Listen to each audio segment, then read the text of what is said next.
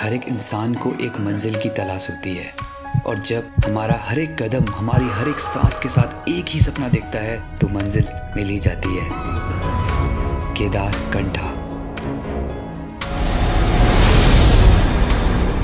Hey guys this is Himanshu and I travel वगर इस series में आप लोगों को देखने को मिलेगा कि अगर आप लोग केदारकंठा ट्रैक करना चाहते हैं तो कैसे आप केदारकंठा ट्रैक खुद से अंडर बजट कर सकते हैं? तो उसमें नंबर वन आप लोग को पता लगा कि यहाँ तक ट्रांसपोर्ट कैसे करना है। केदारकंठा ट्रैक करने के लिए आपको पहले संकरी विलेज आना पड़ता है। तो संकरी विलेज तक आने के लिए क्या क्या ट्रांसपोर्टेशन के ऑप्शन अवेलेबल हैं, वो आपको पता लगेगा। और प्लस संकरी विलेज हम एक्सप्लोर करने वाले हैं। यहाँ के होम स्टेज़ यहाँ का लोकल फ़ूड कल्चर और जो भी चीज़ें हो सकती हैं, हम कवर करेंगे एक दिन में। और फिर उसके बाद हम करेंगे केदारकंठा का ट्रैक मेरा भाई आ रहा है छोड़ने के लिए मुझे। अभी अराउंड नौ बज रहा है बस है साढ़े दस बजे की। तो फिर फ़िलहाल हम जल्दी जा रहे हैं ताकि बस बस देख के बैठ के सामान वगैरह सेटल कर लें। सर ये देहरादून के लिए बस कितने बजे चलेगी?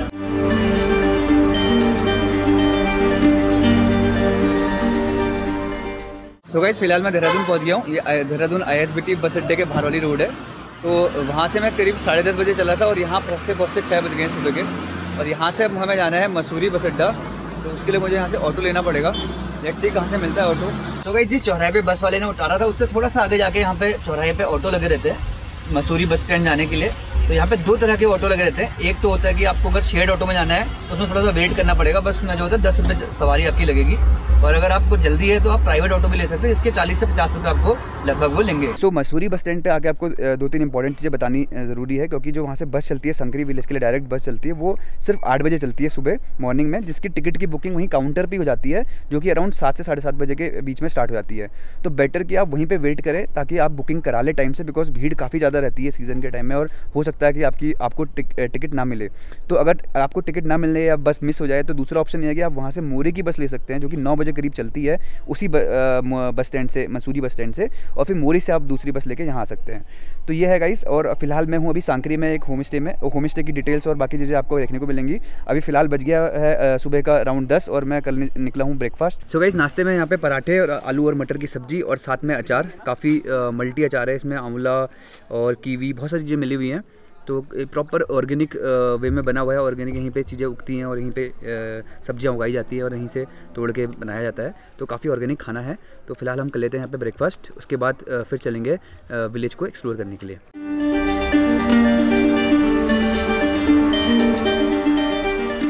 गाइस जल्दी से मैं आपको बता देता हूँ कि जिस होम स्टे में रुका हूँ, उसका नाम है हिमालयन होम स्टे और यहाँ पे आपको बलबीर जी मिलेंगे या फिर रोहित भाई मिलेंगे जो यहाँ पे ट्रैक कराते हैं क्रेजी द क्रेजी माउंटेरियर करके। इनकी डिटेल्स मैं आपको डिस्क्रिप्शन में डाल दूँगा और आप, जैसे कि आपने देखा। तो बेस्ट पार्ट है कि यहाँ पर सारा कुछ ऑर्गेनिक मिलता है और इस वीडियो में आपको पता लगने वाला है कि सांकरी में अगर आप एक्सप्लोर करना चाहते हैं तो आपको कहाँ कहाँ जाना चाहिए और क्या क्या चीज़ें हैं यहाँ करने के लिए। तो चलिए चलते हैं सांकरी को एक्सप्लोर करने। ब्रेकफास्ट करने के बाद होम स्टे से थोड़ा सा मैं मार्केट जाता हूँ, थोड़ा मार्केट घूम लेते हैं और साथ ही साथ में यहाँ पे ड्रोन के लिए परमिशन लेनी पड़ती है उड़ाने के लिए। तो मैं ट्राई करके आता हूँ कि परमिशन मिलती है तो ठीक है, नहीं मिलेगी तो नहीं उड़ाएँगे।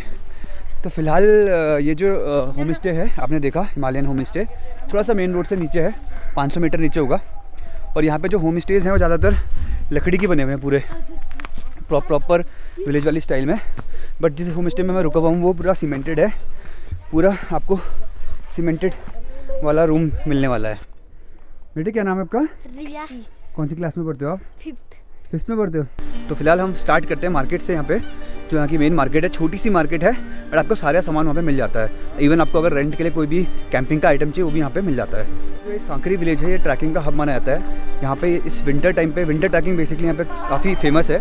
तो इस टाइम पे दिसंबर के टाइम पे काफ़ी भीड़ रहती है, जैसा कि आप मेरे पीछे देखोगे। काफ़ी सारी जो ये ट्रैवलर्स वगैरह, गाड़ियाँ वगैरह हैं, सारी रोडों के किनारे लगी हुई हैं, काफ़ी भीड़ है यहाँ पे।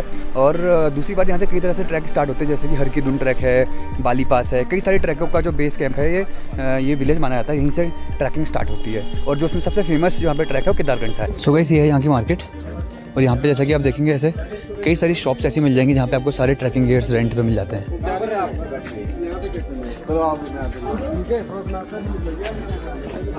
तो अभी मैं किसी दुकान पे जाके पता करता हूँ कि क्या है कॉस्ट गेयर्स की अगर आप खुद से परचेस कर, करना चाहते हैं रेंट पे लेना चाहते हैं। फ़िलहाल पहले मार्केट घूम लेते हैं एक बार पूरी। लगता है अभी मार्केट खुली नहीं अच्छे से।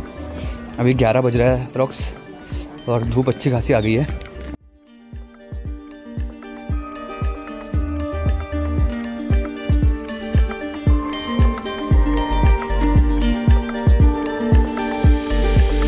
सो so गाइस ये है छोटी सी मार्केट यहाँ की, और फ़िलहाल मुझे एक टूथपेस्ट लेना था। चलिए, एक बार टूथपेस्ट ले लेते हैं। भाई, टूथपेस्ट दे दीजिए छोटा वाला भाई तो यहाँ पे सीज़न का टाइम कौन सा रहता है? यही चलता है दिसंबर तक? हाँ। यहाँ सारा सामान मिल जाता है जैकेट वैकेट? ये जैकेट वैकेट सब? सब मिल जाता है।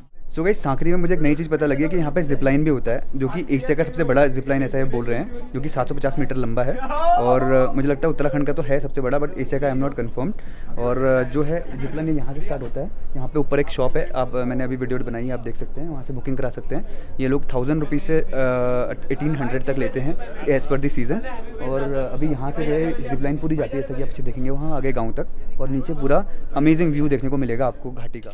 सो गाइज़ जो ये सांकरी विलेज है लगभग 1900 मीटर की ऊंचाई पर है और इस विलेज की मुझे खास बात जो लगी, यहाँ पे लोग काफ़ी शांत स्वभाव के हैं और काफ़ी हेल्पफुल हैं।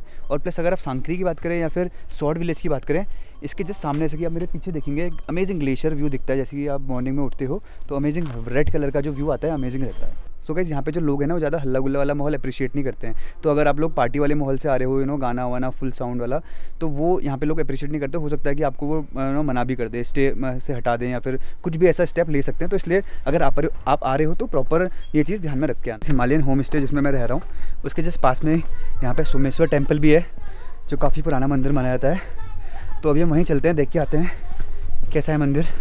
तो फ़िलहाल हम पहुँच गए मंदिर में जैसे कि आप मेरे बगल में देखोगे ये है टेंपल। काफ़ी बड़ा काफ़ी बड़ा एरिया है इसके चारों ओर। तो अगर आप आ रहे हो यहाँ सांकरी विलेज में तो ये मंदिर भी आप ज़रूर विज़िट कर सकते हो। क्या नाम है भैया आपका? देवराज। देवराज? कौन सी क्लास में पढ़ते हो आप? सेवेंथ सेवन्थ में? यार देवराज भाई थोड़ा बताओ मंदिर के बारे में यार ये मंदिर कब खुलता है और कैसे होता है यहाँ पे? त्यौहार वगैरह कब मनाया जाता है? यहाँ पे त्यौहार तो अभी आने वाला है एक जनवरी में। अच्छा। और एक एक फरवरी एक बार जब देवता आता फरवरी में आता और जब किसी के घर में रुकता नहीं था तब भी आता। या और एक जुलाई में आता। जुलाई में? हाँ उस टाइम तो यहाँ दो मेले से लेकर आते हैं यहाँ? हाँ। कहाँ से लेकर आते हैं? बाईस गाँव में घूमता नहीं कि देवता। तब अभी फिताड़ी में वो देवता। तब जखो तब जखोल में आएगा उसके बाद सब गाँव में घूमेगा फिर यहाँ भी आएगा। अच्छा तो भाई कितना पुराना मंदिर होगा ये है कम से कम पचास चालीस साल पुराना होगा। काफ़ी पुराना है मतलब। हाँ। तो यहाँ लोकल लोग पूजा वगैरह करते हैं हाँ। तो अभी के टाइम में बंद रहते हैं दीवार हाँ। जब देवता आता है तभी खुलते हैं। हाँ। सो गाइज़ ये है टेंपल जैसा कि आपने मेरे पीछे देखा। ये यहाँ पर टेंपल है जो काफ़ी पुराना टेंपल है और यहाँ पे लोकल लोग आते हैं और पूजा पाठ वगैरह करते हैं। तो यहाँ पे अभी ये फ़िलहाल बंद है जैसे कि उन्होंने बताया कि जब यहाँ पे विशेष प्रकार की पूजा होती है कि देवता कहीं से आते हैं अ, कहीं से लेके आया जाता है उनको या फिर किसी के घर में अवतार लेते हैं तो उस टाइम पे मंदिर खोला जाता है यहाँ पे पूजा पाठ वगैरह होती है और अभी कोई फेस्टिवल होता है इनका जनवरी में अ, तो उस टाइम पर भी ये मंदिर खोला जाता है। तो और इसी के साथ साथ मंदिर के सामने कुछ यहाँ पर एक और प्लेस बनाया हुआ है पता नहीं किस लिए मैं पूछता हूँ उनसे। भैया यार ये ये मंदिर के सामने ये किस लिए बनाया हुआ है? सामने ये वाला? जब मीटिंग होती है यहाँ ना तब यहाँ बैठते हैं। मीटिंग मतलब किस चीज़ की? पुजारी होगी? हम्म, किस बारे में मीटिंग होती है? मतलब किस चीज़ की मीटिंग होती होगी? वो या किसी गाँव में जो देवता खुलने ले जाता ना तब होती है। अच्छा सो so गाइस तो बेसिकली ये एक मीटिंग स्पॉट है यहाँ पे जो आप देख रहे हैं लकड़ी का बनाया हुआ है। तो यहाँ पे पुजारियों की मीटिंग होती है कि किसी गाँव में अगर देवता को कहीं ले जाना है तो क्या अ, क्या हम आ, प्लान फॉलो करेंगे? उसके लिए एक छोटी सी मीटिंग होती है इस एरिया में। और यहाँ पे पूरा लकड़ी का मंदिर है। वो भी है वो क्या है? ढोल है वो? वो बजता है या फिर ऐसी शोपीस है।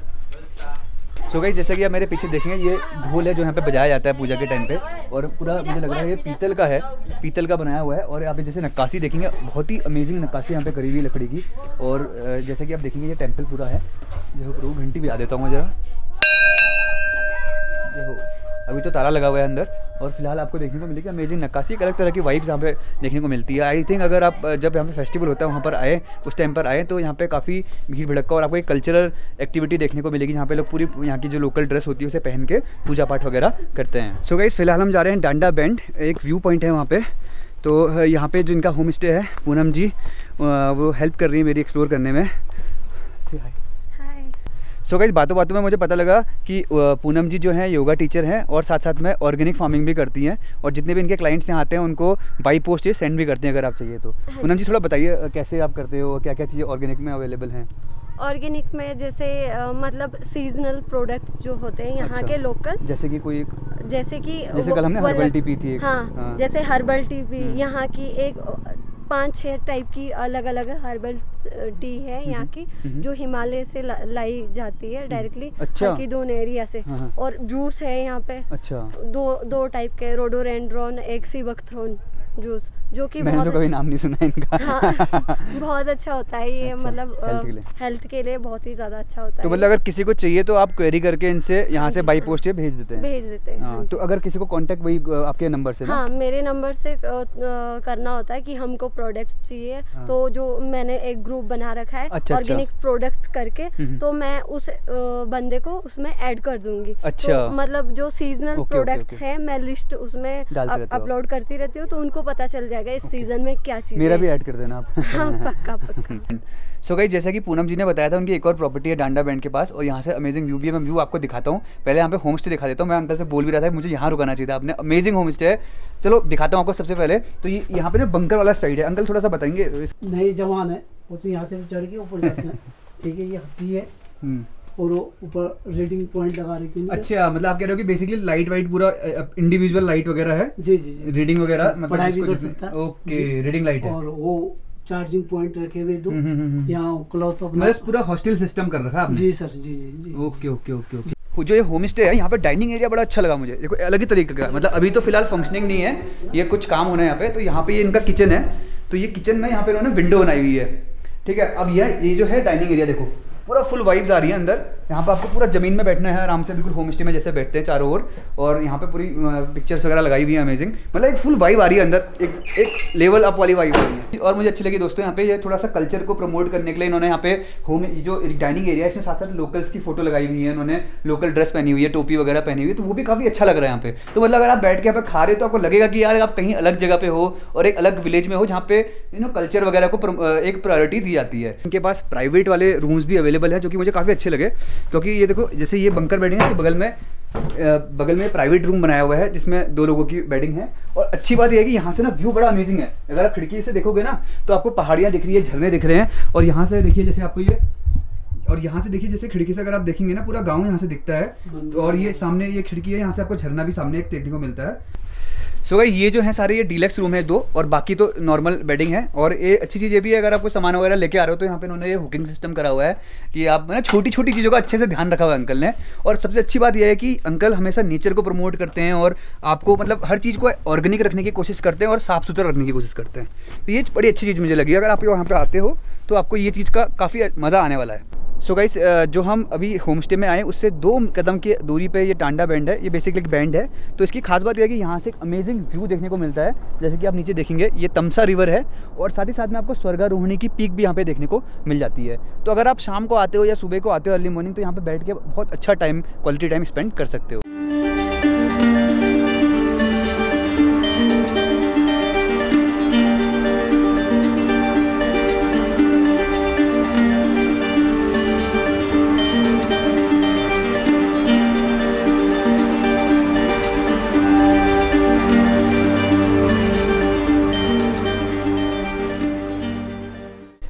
सो गाइस कैसे लगे आपको डांडा बैंड से व्यूज़ कमेंट करके ज़रूर बताना। और अभी हम फ़िलहाल डांडा बैंड से थोड़ा सा आगे चलते हैं तो यहाँ से जो केदारकंठा का ट्रैक स्टार्ट होता है, वो यहीं से स्टार्ट होता है। ये जो आप देख रहे हो ट्रैक कल हम यहीं से ऊपर की तरफ़ जाएँगे। और फ़िलहाल अभी हम जा रहे हैं मार्केट की ओर, वहाँ पे कुछ कैफ़े देखते हैं, अच्छे कौन कौन से कैफ़े यहाँ पे। हाँ जी, और बताइए। मेन मेन चीज़ यही। प्लीज़